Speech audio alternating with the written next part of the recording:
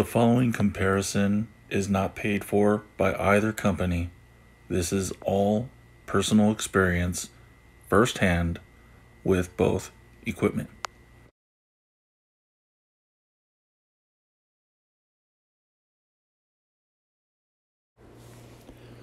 So when it came to flashing the car, they were both pretty much the same as far as how long it took.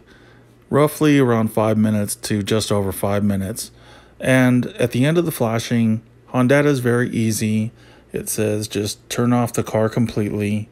And then once you've done that, then the screen will recognize it and it will press, uh, it will pop OK button. However, with the K tuner unit, you had to turn the car off wait a few seconds, and then put the car back into the key on ignition off and wait a few seconds until the system recognized it on the laptop. And then once that happens, then you press OK, and supposedly your car is supposed to be flashed. However, I had a lot of problems with that, and that was not the experience that I had with my car, unfortunately.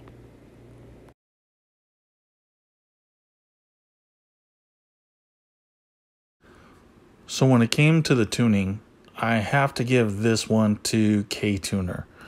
When you go into the K-Tuner software, it has a bunch of drop-down menus to make things sort of like a, la carte, where you can pick and choose what you want to do. Whereas with the Hondata, you really have to have an experienced tuner who knows what they're doing to go through and set up all the different tables. So when it comes to the tuning of the two, they're gonna do the same job. They pretty much look like the identical tables to one another when you look at all of them broken down. But the drop down menus that KTuner had, it made it a whole lot easier. So you could say, okay, I want stock 16 pounds of boost, and then when I go into sport mode, I want it to go up to like something like 23 pounds of boost. Whereas on Hondata, they have the same thing as one of the options, but you usually have to get it tuned.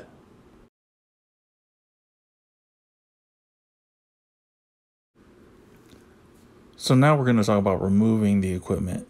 It was pretty much the same process for both K-Tuner and for Hondata, but the one that's going to take the W in this one is going to be the Hondata. When I went to flash the car back to stock, for Hondata, it was fairly quick, easy, flash it back to stock, unlock, you're done. Whereas with K-Tuner, like I said before, it took several tries in order for it to flash back to stock, confirm it was flash back to stock, and then multiple tries again to unlock it from the car.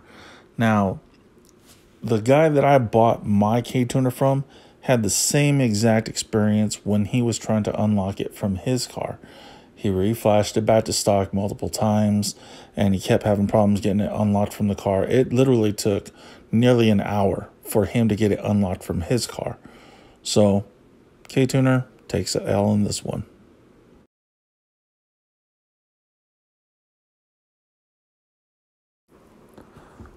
So to recap, we had reviewed both the K-Tuner equipment and the Hondata equipment. There were nine different categories. Prices, equipment, website, their apps, their screen appearances, which unfortunately I couldn't show, uh, installation of the hardware, installation as far as flashing, tuning, and removing the equipment. Now, out of the nine categories, in my opinion, now your opinion can vary, Hondata won six out of the nine categories.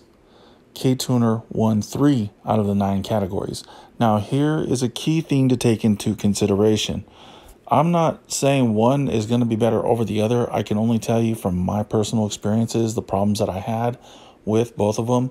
And very fortunate for me, I have not had many negative experiences with Hondata. On a few times on some of their software updates, I did catch some things that were not supposed to be in the system, brought it to Hondata's attention, and they were quick to fix everything, which was cool. Uh, unfortunately, it seemed a very negative experience working with customer service for K-Tuner. Again, that's my personal opinion, you know, my personal experience.